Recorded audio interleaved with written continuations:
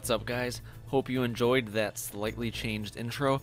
Uh, don't expect that to be the same for too long because uh, in a few days I should have an all new Metal Gear Solid themed intro.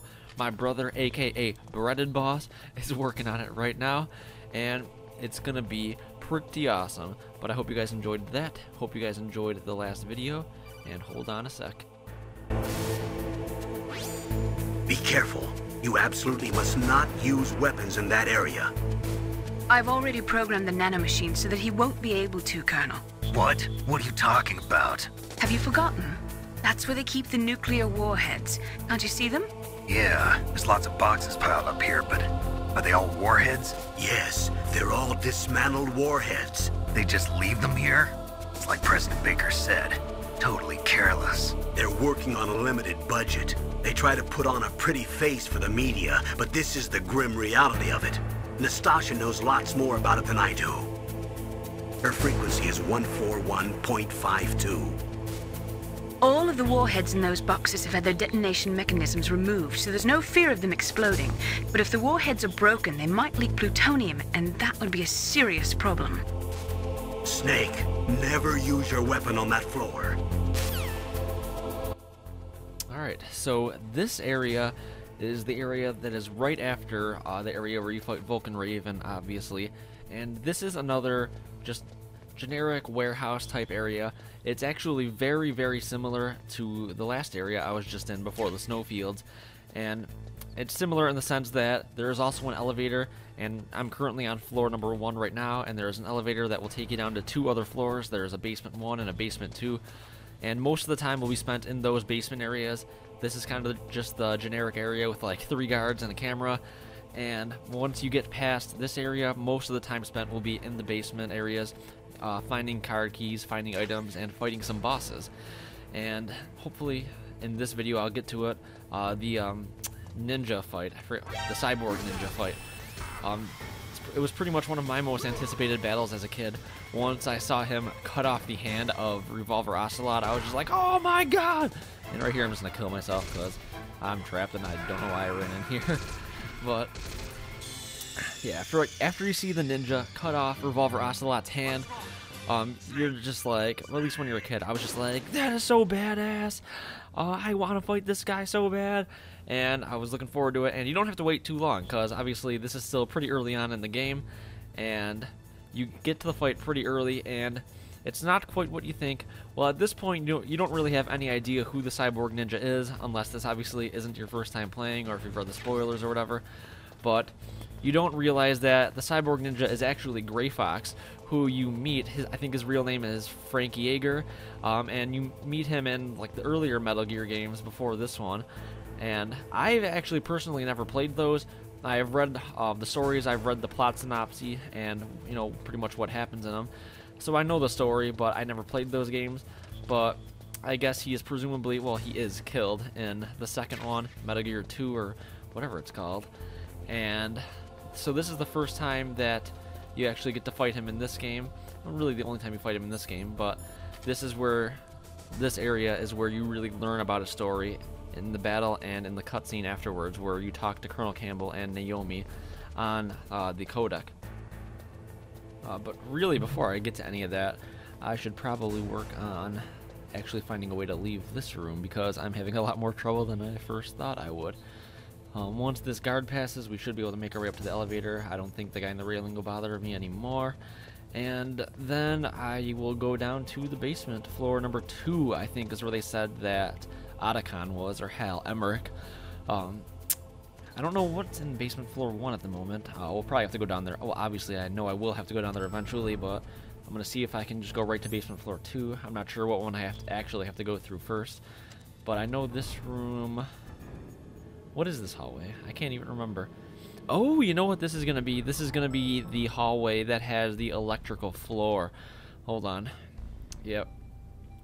To get through this hallway, you are going, well, I am going to need uh, Nikita missiles, and I probably get those in the first basement floor. I probably shouldn't come down to the second basement uh, this soon. But yeah, the, this floor is like electrified, and you need to use the missiles to shoot them all the way down this hallway and kind of guide them uh, all the way through a hallway, through many turns. Uh, the Nikita missiles are pretty cool in that aspect. You can do some cool things with them. You actually need them later for a boss fight against Vulcan Raven, so I'm gonna have to go get those right now. But yeah, this game is just full of cool things like that.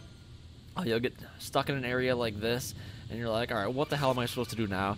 And sure enough, there's some type of gadget or weaponry that you will end up using that you didn't even know existed that will end up getting you through the area. And I don't even know if some of this stuff exists today or how realistic it is, but hey, it's fun to use in a video game setting. how? I can't reach it. And actually, I'm pretty sure the guy I'm talking to right now, that static guy that calls himself Deep Throat, I'm pretty sure that guy is actually the cyborg ninja. I think he's kind of watching you and he helps you out at times, and that's why he goes he uses that t- voice changer type thing. I actually can't be sure about that. I don't know if it's Gray Fox or not, but if my memory serves me correctly, I believe it is him. Uh, so right here, I'm gonna go to basement floor one, and ooh, this is a nice floor. Uh, and a little bit later, not in this video, of course, uh, this is where the area where you fight Psycho Mantis, which is just an incredible, incredible boss battle. Uh, that's probably one of my favorites. It's many people's favorite of all time, just because of how unique it is and uh, the interesting and strange way that you need to beat him. Um, but yeah, it's a very fun fight. But right now on this floor, I just need to find the Nikita missiles, and I think they're down here, and at least I hope they are. I'm just gonna keep running around until one of these rooms has them, hopefully. And this guard is not gonna make it easy on me. Just gonna go around here, and there we go. All right.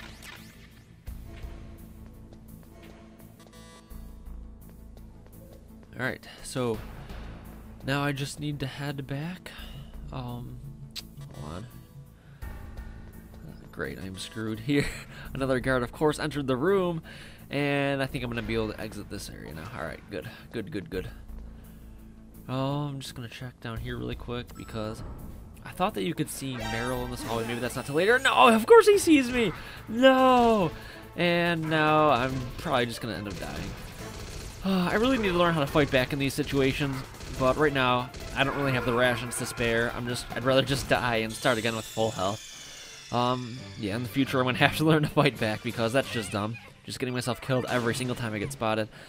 Uh, I can use stun grenades in that in those situations. Uh, the SOCOM pistol, really just anything that'll be able to clear the enemies out and allow me to at least get some room to run away and get some breathing room. But for now, at least I know where all this crap is, so I can just get it and get out. And you know where that first guard is, or the second guard that came into the room? Right now, he's in this bathroom all the way to the left, and I think he's like going to the bathroom. And yeah, when, if you're like a little kid or something and you see that, you're like, ah ha ha, look at him. But whatever, I don't need to see that right now. Anyway, right now we get to use the Nikita missiles, and this is a pretty fun segment. At least it's cool to look at. Wonder if stuff like this is actually possible. I'm sure it is these days. But alright, so we got the gas choking me out, so we got to do this kind of fast. But I know that, yeah, the electrical thing it showed us is all the way over here at the very end of this long hallway. And if you don't move the directional button after like one second, the missile speeds up to crazy speeds, and I can't control it, especially not with this input lag on my TV. And if you go too slow, however, I think those gun cameras can shoot your missile. I don't know if it's ever actually happened to me, but they at least try to shoot it, so I don't want to risk it. And was that not it? I guess I didn't hit the right thing. I thought that was it, but looks like nothing has happened, so I'll try again. Alright. So let's send another one through. And. Oh! Hold on, hold on. I don't want to fire this thing into a wall on accident, and the cameras are shooting at it. And hold on. Uh, and it must be this thing right here. I yeah, lots of wires. Okay, there we go. And this will allow me to get into the room, and I think the gas mask is also in here somewhere because obviously there's poison gas all over the room, so you can't breathe in it for too long. But the gas mask, I'm pretty sure, is in one of these rooms. I don't know if I can actually access it right now because I'm not sure if I have the security clearance. You might need a higher card than level 3. There's a whole bunch of different kinds of doors levels. But to get to the Gray Fox battle, I just have to go through that door to the right. I know that, but right now I'm just going to check these rooms right before the battle. I am anxious to fight the ninja because it is a really fun battle. It's a really cool battle, a unique battle. like most of the bosses in this game, they're all unique. There's not really one that is particularly boring or anything like that. They all have their moments, they all have special ways to beat them, and I really like that about them. Very imaginative. I like what they did with it all. I've mentioned all that before, though. That's one of the strengths of the entire Metal Gear Solid franchise, is that they've come up with very creative ways to fight the bosses. Um, I can't wait for some of the ones in Metal Gear Solid 3 if my this Let's Play goes that far. Because I think Metal Gear Solid 3 is actually my favorite of the uh, Metal Gear games. Although, I mean, this one and 2 are not far behind at all. Metal Gear Solid 4, however, is very far behind. no, I, I know that game gets a lot of hate, and it's certainly my least favorite. It's just, uh, I don't know, it's a frustrating game to play. A lot of the revelations that are um, well, revealed, I guess, are just kind of dumb. They don't make much sense, and blah blah blah. People have talked about this many times before. I'll probably still play through it again if I get that far, but the one impression I had when I did play it was that it's very convoluted. It ruins a lot of the characters. And right here I got the gas mask, and apparently it doesn't give you infinite breathing time. Uh, I guess it's just slower because I'm surprised my oxygen bar didn't go away. But whatever. So right here I'll run back in, and now we will go through and find Gray Fox. Uh, hold on one second actually. I don't think I fully explored the areas to the left, did I? No, I didn't because I was running out of oxygen, so I just kind of went in and got a few items and got out. Let me just check these rooms really quick.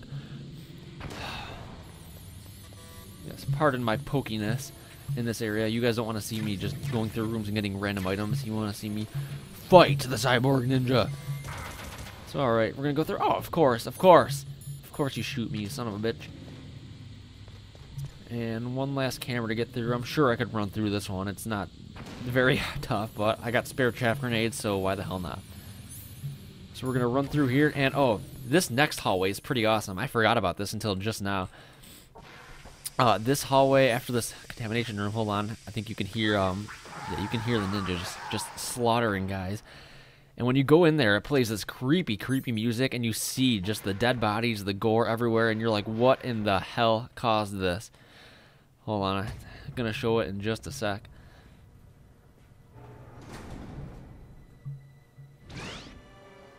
Yeah, it's pretty creepy. I mean, for PS1 era stuff, this is disturbing. like, think about playing this if, like, for me, when I was 10 years old and I saw this, I was just like, holy crap! It scared the crap out of me, at least. Um, it reminded me of, like, a Resident Evil game. The old Resident Evil games that were actually pretty scary. Uh, this is right up that kind of alley, and it's kind of messed up. And right here, you, it'll take us right into a cutscene, so I'll let that take over for a few minutes.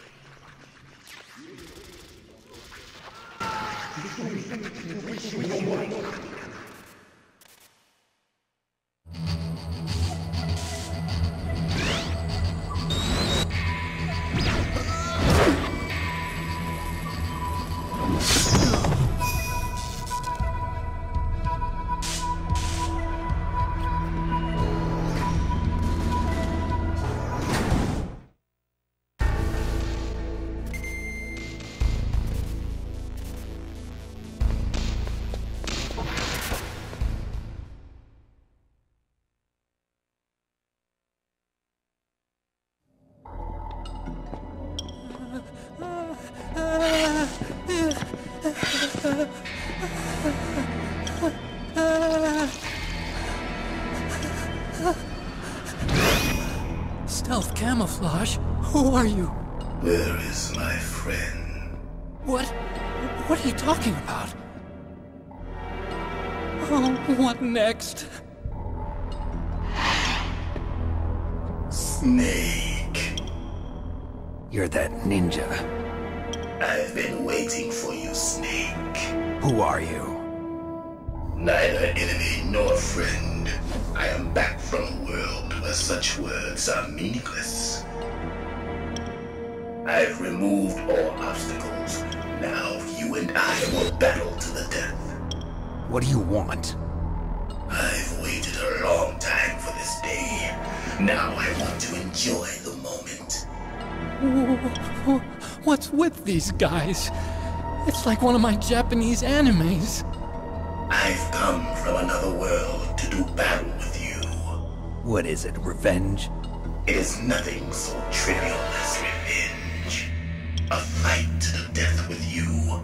Only in that can my soul find respite. I will kill you, or you will kill me. It makes no difference. Ah, fine. He can watch from inside there.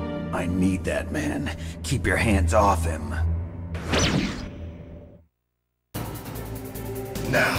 Make me feel it. Make me feel alive again. So, okay. Uh, this battle is, I think it can be done a couple of different ways. Uh, the easiest way, in my opinion, is to do what I just started doing right here, and that's fighting him hand to hand. Because he is like a ninja, he obviously loves hand to hand battles, because it is the basis of all combat, of course. And only a fool trusts his life to a weapon, everyone knows that, common knowledge. Why would you want a gun when you can have fists? That's the way I like to do things. But I'm pretty sure if you try shooting him, he just blocks everything with his sword. And I'm pretty sure there are ways to end up getting bullets on him. There's ways to make him go crazy and do different things. Uh, but the easiest way, in my opinion, by far, is just to fight him hand to hand. And it doesn't look easy right now because I suck. But um, when you fight him hand to hand, uh, you get all your hits in. He can't block or do anything. Uh, you punch him and he gets hit. He takes damage. It's as simple as that. You don't have to do any tricks to be able to shoot him or anything if you don't try to shoot him. So that's what I'm going to do right here. See, the strategy right here that I'm trying to um, take on is do a quick three-hit combo on him, and then once he starts blinking, obviously he is invincible during that period. So you do not want to attempt to try to hit him because you'll just get destroyed. And as he's blinking, he'll usually try to do some jump attack as he's doing on me. Uh, you need to try to avoid that jump attack, and then once he is done attacking, you will be able to begin your combo again because by then his blinking um, you know, will have ceased by then, and he will be vulnerable. The other thing that you can do is what I just did here. If you throw a chaff grenade, he gets disrupted by it a little bit. Obviously, uh, the suit he's in must be some type of um, electrical or mechanical type thing, so it gets affected by the chaff grenades, and renders him pretty much useless for the time that ch the chaff grenade is active. Uh, unfortunately, um, hold on. Yeah, I don't know why it's not letting me hit him. Maybe at this point you're supposed to try to shoot him, I remembered it being able to hit him after this. I'm not sure why I wasn't able to. Maybe that is how you end up being able to shoot him for a bit while the chaff grenades are going. Um, I wasn't able to take advantage of that right there, if so. But uh, no matter. No matter what, um, punching him is the surefire way to do damage. Um, and it's quite a long battle. You see right there, I'll show you. Um, you can shoot him a little bit, and doesn't do anything. He just blocks it like nothing without even any effort. So you pretty much just have to play it kind of smart. You don't want to run in completely blind and stupid like just some crazy Rambo type guy, but I mean, just be a little cautious and it's not too hard. Now right here the battle gets a little bit easier. He goes into his little stealth mode and all you have to do is pretty much find where he's hiding and it shows you exactly where he is anyway. So it's not too hard. You just go and find him and you do a quick little combo on him and then he will teleport to a different area and then you just locate him again and you proceed accordingly. It's not too hard, you can see a shadow, you can still see the outline of his body wherever he is hiding, and it's just not too bad. If you don't find him, I think he ends up finding you and getting a hit on you or something, I don't know, but whatever. That part's very easy.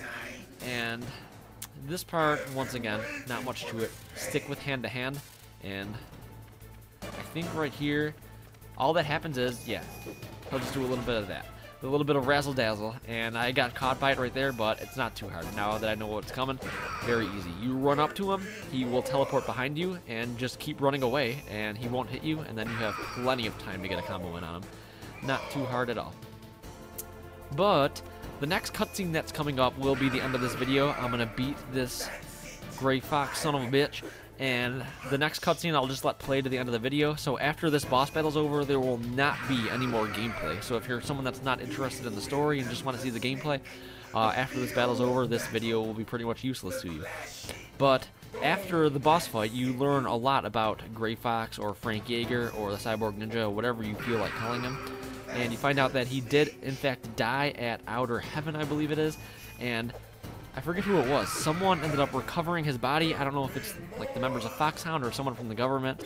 Uh, I'm going to find out in the cutscene right with you guys because I don't remember myself. But someone ends up recovering his body and uses uh, this exoskeleton ninja. They put it on him and revive him. So he's still not technically really alive. He's being kept alive by this suit, and he's not really himself anymore. That's why you see what's happening right here, where he's saying, you know, hurt me more. Uh, I want to feel pain again. I want to feel alive again. That's where all this is coming from. And it's pretty interesting because the first time you play the game during the battle, you have no idea why he's saying all this. You're like, what in the hell is wrong with this guy? And you find out you're fighting a dead guy. So it's pretty interesting. It's pretty cool. And I'm looking forward to this cutscene that's about to come up. Uh, the boss fight's pretty much over. Asko to avoid this little energy field and take him out. And yeah, hopefully we'll learn a little bit about why he was brought back to life, what he's being used for, what his mission is, what his purpose is, all that sort of good stuff. But other than that, the end of the video is here. So thanks for watching, guys. See you later. I felt that snake. Do you remember me now? Can't be. You were killed in Zanzibar.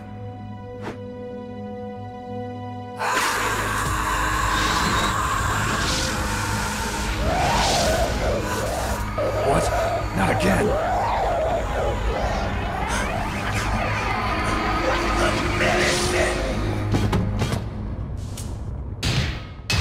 What's happening?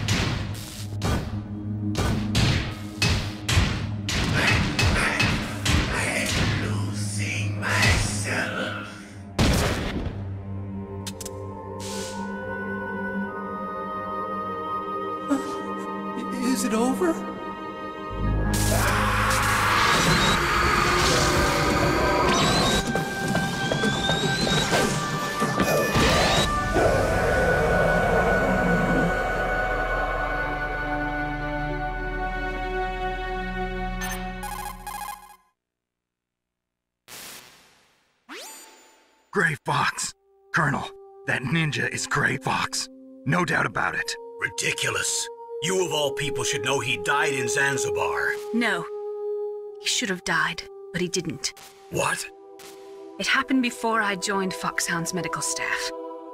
They were using a soldier for their gene therapy experiments. I never heard that. It happened right after you retired. My predecessor, Dr. Clark, was in charge. Dr. Clark. Yes, he started the gene therapy project. And where is he now? He was killed in an explosion in his lab two years ago. So what about this soldier? Apparently, for their test subject, they decided to use the body of a soldier who was recovered after the fall of Zanzibar.